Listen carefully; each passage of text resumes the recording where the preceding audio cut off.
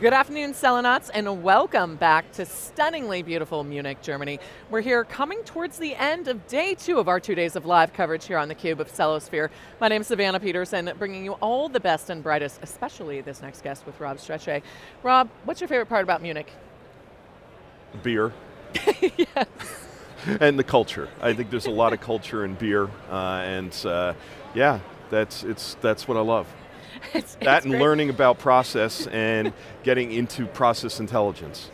Yes, you know, and, and my favorite thing about being here is learning from our fabulous guests like Eugenio, return visitor. Thank you for coming back. Happy to have you as a CUBE alumni. Welcome. Thank you for having me back again this year. I'll always love to be here. It is a joy. Love your energy.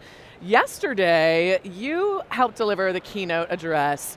Can you give us some of the highlights from what you were shared there? Well, yesterday uh, it was a fabulous keynote because uh, we had uh, Dan Brown before me and he spoke about all the innovations coming from our platform. Uh, and then my focus was really on uh, composability. So actually meaning uh, what is the value our ecosystem can generate on top of those innovations. And it was very exciting. And I went with a long list of partners that are contributing to it. Yeah, I mean, I think that when we look at where process intelligence is going and the value created, it, it you know, Alex was on stage talking about the ecosystem, Karsten was on yesterday talking about it. There's a really good viewpoint of not one company is going to own quote unquote agentic AI. How do you see that with the strategies that you're helping put together for where Celonis is today and where it's going?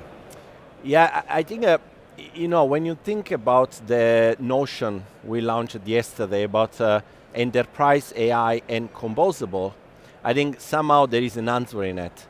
Because I- believe that this AI, to really get the value and the maximum out of it, is really to go and work in an ecosystem that is composable. And you can wire in things, you can offer things, you, uh, and that's why you have uh, resources and you have tools, and then you have an ecosystem, so where they bring uh, a beautiful, deep domain expertise to build new models.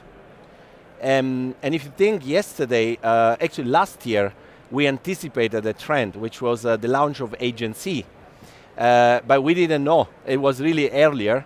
And yesterday we materialized by launching our first MCP protocol for process intelligence, right? Yeah. Which is very exciting. Congratulations on the announcement. Very quick innovation and iteration there.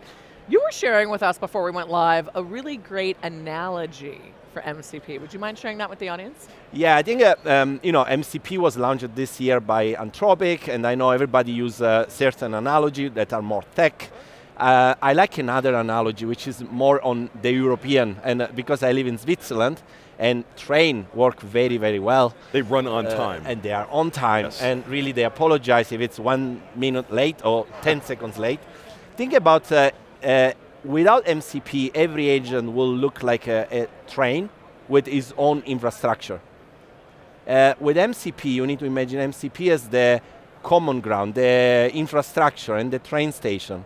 And now every train as an agent knows what to do, which tool to use, when to take the people, uh, and what are the time to respect. So it's a very common analogy I usually use to explain my non-tech friends out there.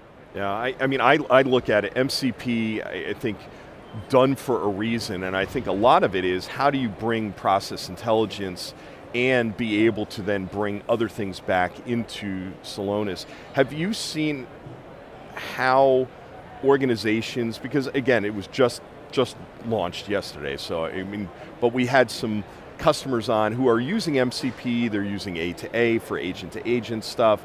Have you seen them embracing and pushing into this technology as they build out agents that include the pro and they want to include the process intelligence because that makes the agents smart about what they're supposed to do. Correct. So MCP, uh, so process intelligence is going to play a big role in enterprise AI because we have the semantics, we have the process context, we know the why, we eventually know how it should look like, we eventually know the deviation towards, to, and maybe we also know the recommendation around it.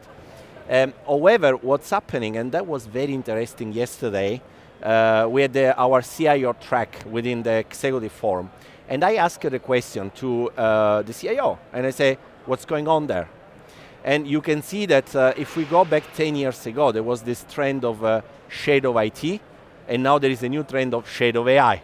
So everybody wants to build their own agent, isolated, and that's where MCP plays well, because you can help uh, CIO to be in control, to govern, and to have a way to basically orchestrate things together.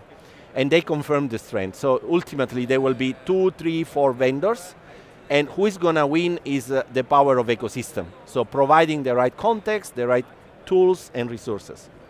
Absolutely. So, so you have an interesting role of managing, you know, when we're thinking about corporate strategy. Yeah.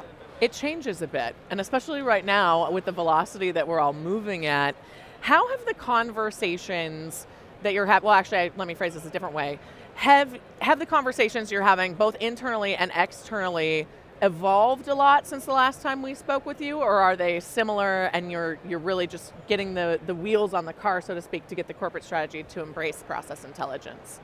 So um, last year, the conversation was more about I want to try. Mm -hmm. um, and then we, we hear yesterday in, uh, in Alex's keynote that uh, most of the initiatives are uh, struggling to get a clear ROI, you know, the right. ROI, yes. we, we, call it. And uh, this year is more a different kind of conversation, which is more like, what is the right methodology to use to get something really uh, productive?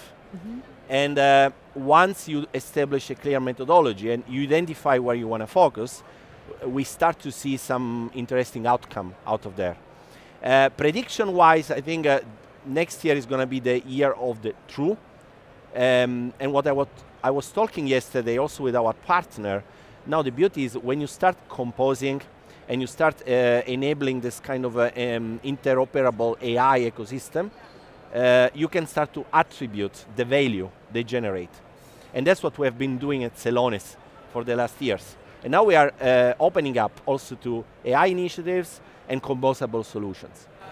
Have you seen that as you look out, because again, you know, you're looking into the future as well with the strategy, that you're seeing that organizations, there's patterns starting to emerge. Like I, I looked at yesterday, uh, like you said at the keynote, and I thought it was a fantastic group of customers that were up there. You had Mercedes-Benz, who was really pretty early on in their movement to using process intelligence towards AI.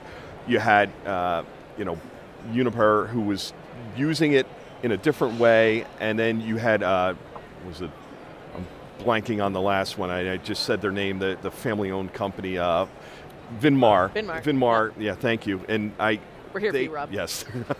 they, they really seem to be, you know, very much pushing in and very, very aggressive.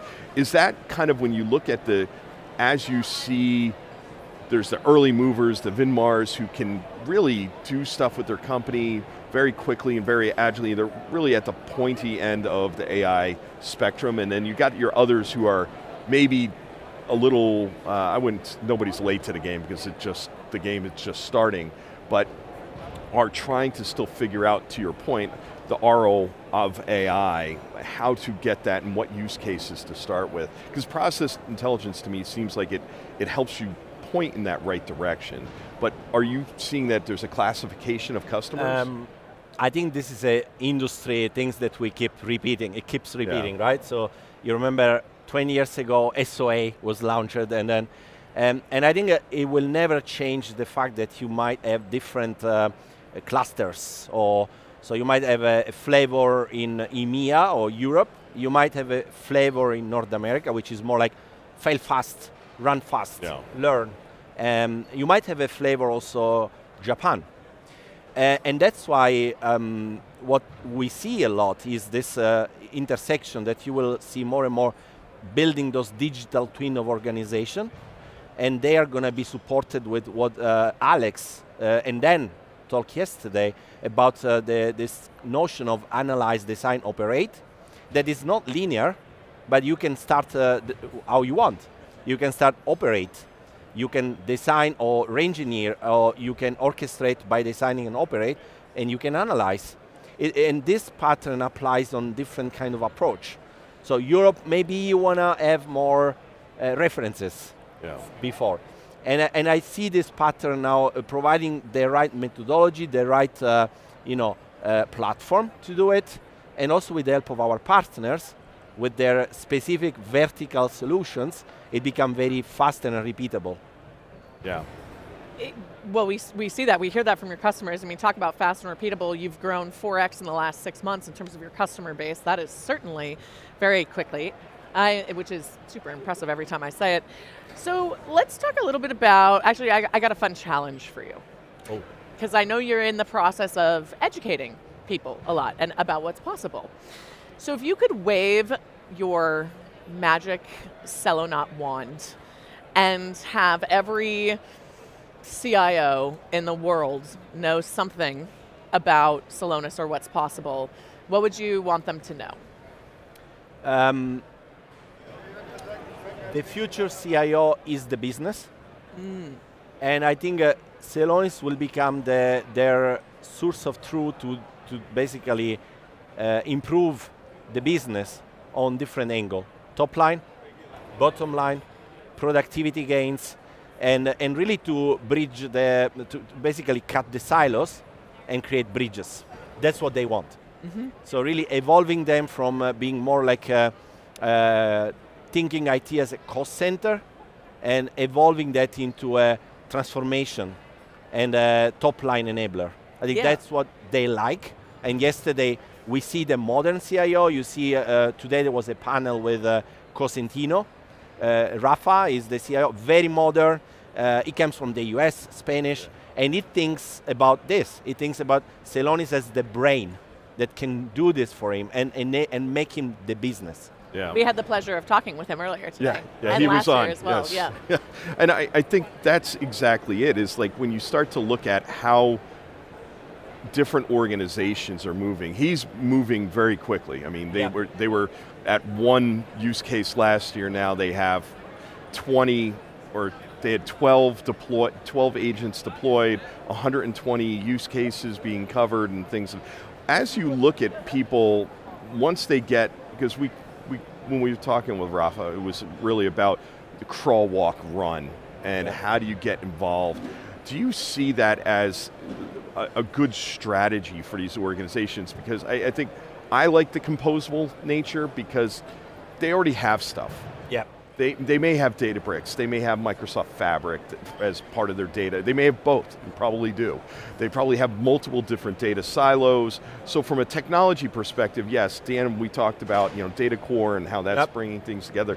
But when you look at it from a strategy perspective for these customers and what, what's next for Celonis and the platform, do you say, hey, we're, we need to help accelerate this part of their journey? So the first thing you need to differentiate with other vendors is I'm Swiss. Yeah. Uh, and I always say we are the Swiss of the software vendor because our option is really to say whatever investment you have made, we will embrace it.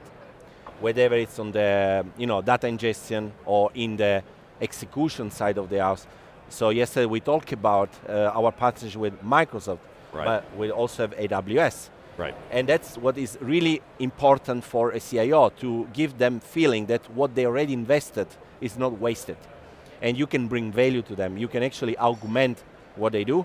Many vendors do this. And we try to be humble and do this. Number one. Number two, there is this notion of if you want to scale, you need to democratize the power of process intelligence. So meaning it has to be consumable by everyone in your organization. And that's what we do with Rollio. Rollio is actually managing complex process exception, maybe non-deterministic, where you require multiple people to work together. And we don't do this in the Celonis system. We run this into what they already use, collaboration tools, like Microsoft Teams. Put the people together, we provide the process context, Celonis orchestrate the people, they make a decision, uh, sorry, Rollio orchestrate, they make a decision, done. And what we saw with the early customer like Campari or Man Roland that we saw yesterday, they're scaling this way bigger to people that even don't know what process intelligence is. but they focus on their day-to-day problem. And that's the beauty. Headless, democratization, composability. Yeah. And they don't even necessarily have to know what process intelligence no. is. They can just know that they're able to have the visibility they didn't have before on what to do next and what to do best. Yes, and free them up from uh, things that are repeating for them, and yeah. they can do the things that are most important for them. Yeah, yeah. All right, last question for you. Since we've now made this a regular thing two years in a row, when we're here for Celosphere 2026, what do you hope to be able to say then that you can't say now? So last year I promised you I want to see many partners, and I had a keynote. Um, last year, next year I would like to probably launch something already with an ecosystem of partner. Mm-hmm. That uh, it's not just our product; it's something that is already launched as an ecosystem. Ooh, nice. So we're cooking something. So maybe you want to have a look on our labs innovation booth. Oh yeah. Ah, interesting, Excellent. interesting. Yeah. Well, we certainly look forward to continuing this conversation. You clearly and continue to deliver with the team on everything that you've been promising, which is very exciting. Eugenio, thank you so much thank for taking you. the time. Yes, Appreciate you. thank and you. thank you, Rob. Yep. And thank all of you for tuning in to our fantastic two days of inspiring coverage here in Munich, Germany at Celosphere. My name is Savannah Peterson. You're watching theCUBE, the leading source for enterprise tech news.